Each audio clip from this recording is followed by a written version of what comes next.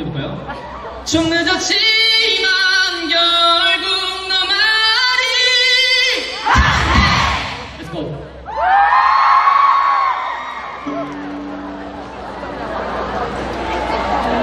표정을 밝기는데도 슬픈 듯한 너의 뒷모습에 미안해 너의 말